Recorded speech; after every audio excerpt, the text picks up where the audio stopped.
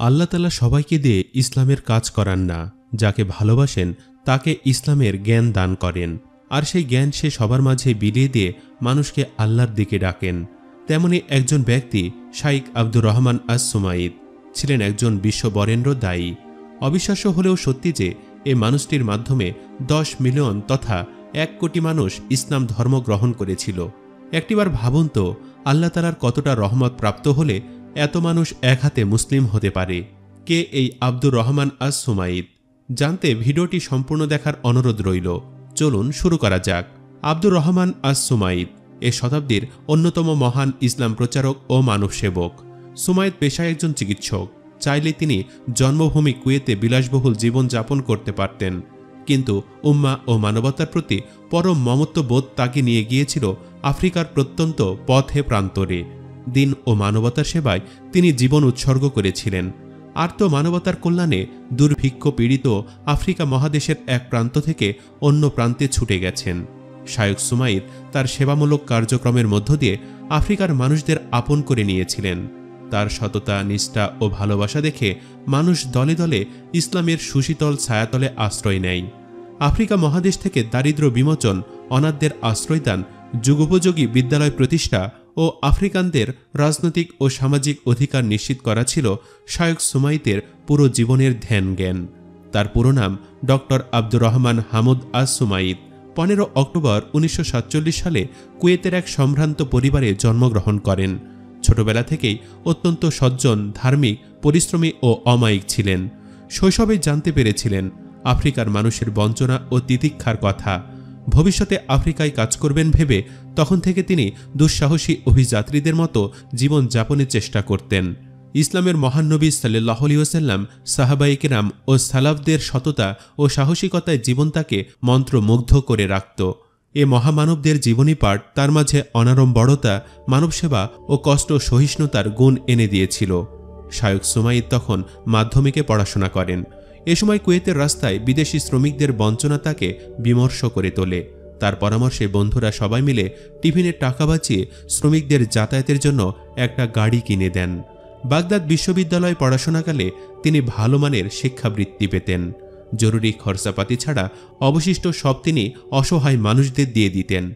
উনিশশো চুয়াত্তর সালে তিনি যুক্তরাজ্যের লিভারপুল বিশ্ববিদ্যালয় থেকে স্নাতকোত্তর সম্পন্ন করেন। এখানে তিনি মুসলিম শিক্ষার্থীদের কাছ থেকে তহবিল সংগ্রহ করে মানবসেবা ও ইসলাম প্রচারে নিবিষ্ট থাকেন। তিনি বিশ্বাস করতেন মানবসেবায় ইসলাম সব ধর্ম ও মতবাদের ওপর শ্রেষ্ঠত্ব রাখে। শায়ক সুমাইদ প্রথমে কানাডার মন্ট্রিয়াল পাবলিক হাসপাতাল ও যুক্তরাজ্যের কিংস কলেজ হাসপাতালে কাজ করেছিলেন। উনিশশো আশি সালে জন্মভূমি কুয়েতে ফিরে আসেন।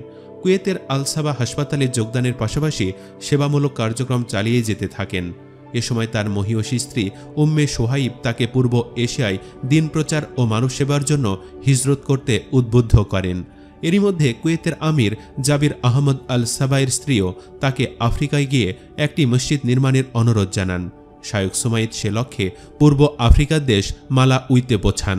সেখানকার কৃষ্ণাঙ্গ মানুষগুলোর দক্ষ যাতনা ও ঔপনিবেশিক শক্তির সৃষ্ট দুর্ভিক্ষ পরিস্থিতি ও মিশনারিদের দরিদ্র বিমোচনের আড়ালে ধর্মান্তকরণ তৎপরতা এবং শিক্ষা চিকিৎসার মতো মৌলিক অধিকার বঞ্চিত হওয়া ইত্যাদি বিষয় শায়ক সুমাইতের বিবেককে ভীষণভাবে নাড়া দেয়।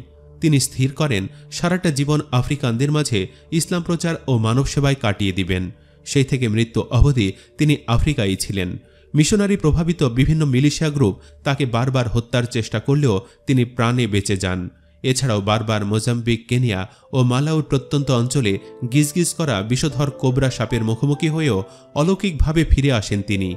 শায়ক সুমাইদ দেখতে পেয়েছিলেন তানজানিয়া, মালাউই, দক্ষিণ সুদান, মাদাগাস্কার, কেনিয়া, নাইজারের মতো দেশগুলোই শুধুমাত্র এক মুঠো খাবারের জন্য বিশাল সংখ্যক মুসলমান ধর্মান্তরিত হয়ে পড়েছে। যারা তখনও মুসলমান, তারাও ইসলামের মৌলিক বিষয়গুলো সম্পর্কে পর্যন্ত ধারণা রাখে না। এসব মুসলমানকে পুনরায় ইসলামের ছায়াতলে ফিরিয়ে আনতে সচেষ্ট হন তিনি? উনিশশো একাশি সালে তিনি আল আইনুল মুবাসির বা ডাইরেক্ট এইড নামে একটি দাতব্য সংস্থা প্রতিষ্ঠা করেন, যেটি প্রতিষ্ঠা লগ্ন থেকে মুসলমান, অমুসলমান নির্বিশেষে সব আফ্রিকানের কল্যাণে নিরলসভাবে কাজ করে যাচ্ছে। এটি এখন পর্যন্ত আফ্রিকার সর্ববৃহৎ দাতব্য সংস্থা। আফ্রিকার উনত্রিশটি দেশে সংস্থাটি কার্যক্রম পরিচালনা করে। আফ্রিকানদের আর্থসামাজিক উন্নয়নের লক্ষ্যে শিক্ষা, চিকিৎসা, অর্থনীতি ও কর্মসংস্থান সহজলভ্য করার জন্য কাজ হরদম প্রচেষ্টা চালিয়ে যাচ্ছে এ সংস্থা। আফ্রিকায় দারিদ্র বিমোচনের জন্য সংস্থাটি ষোলো হাজার চারশো পঁচানব্বইটি প্রকল্প নিয়ে কাজ করে যাচ্ছে। এর মধ্যে আছে চারটি মহাবিদ্যালয় বহু সংখ্যক রেডিও ও টেলিভিশন চ্যানেল, প্রকাশনা সংস্থা নয় হাজার গভীর নলকূপ, একশো চব্বিশটি হাসপাতাল, দুইশো নারী স্বাবলম্বীকরণ কেন্দ্র দুই হাজার দুইশো মসজিদ, বহু মাধ্যমিক বিদ্যালয়, দাওয়া ও রিসার্চ সেন্টার প্রভৃতি। সংস্থাটি এ পর্যন্ত দশ হাজার এতিম শিশুর লালন পালন করেছে। এছাড়াও শায়ক সুমাইতের সম্পাদনায় যাত্রা শুরু করা অভিজাত ম্যাগাজিন আল কাউসার আফ্রিকার দুঃখ বেদনা দুনিয়ার সামনে তুলে ধরতে অবিরত কাজ করে যাচ্ছে।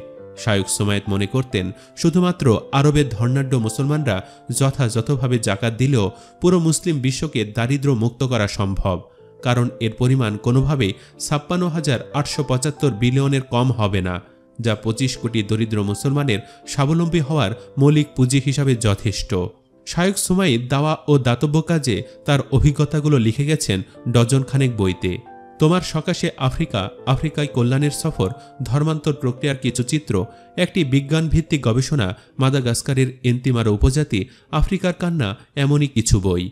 এছাড়াও পত্র পত্রিকায় তার অসংখ্য প্রবন্ধ, নিবন্ধ ও সাক্ষাৎকার প্রকাশিত হয়েছে। শায়ক সুমাইদ রহমাতুল্লাহি আলাই ডাইরেক্ট এইড ছাড়াও আরও ডজনখানেক দাতব্য সংস্থার সঙ্গে সক্রিয়ভাবে যুক্ত ছিলেন।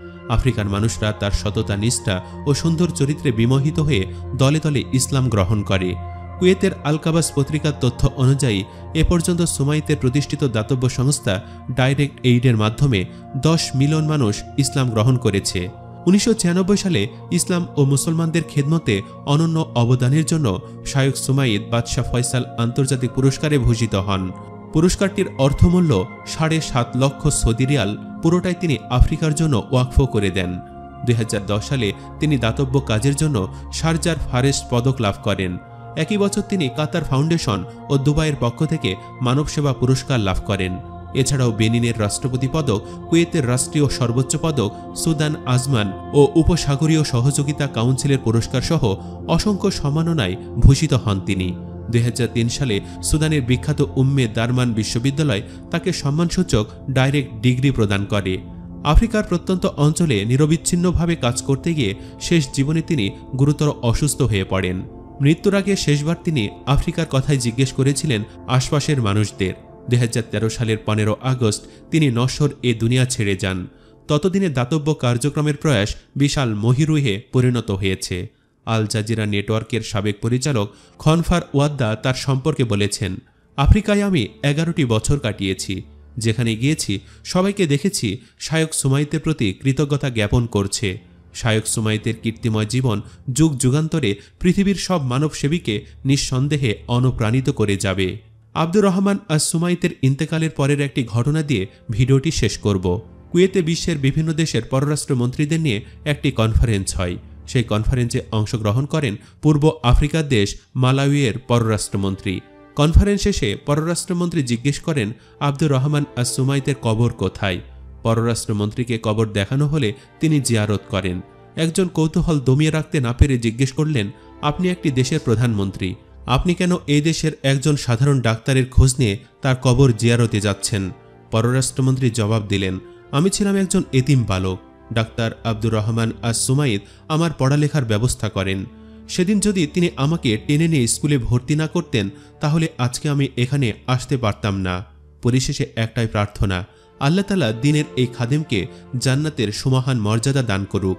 কোরআনের নির্দেশিত পথে নবী পাক সাল্লাহ সাল্লামের আদর্শে তার জীবদ্দশায় রেখে যাওয়া সেবামূলক কাজ কেয়ামত পর্যন্ত বজায় থাকুক। আমিন। ভিডিওটির কমেন্ট বক্সে আপনিও আমিন লিখুন। অতপর জানিয়ে দিন, এমন একজন মহান ব্যক্তি সম্পর্কে জেনে কেমন লাগল। ভালো লাগলে ভিডিওটিতে একটি লাইক দিন ও যত পারেন শেয়ার করে তার এই খেদমতের কথা দেশবাসীকে জানিয়ে দিন।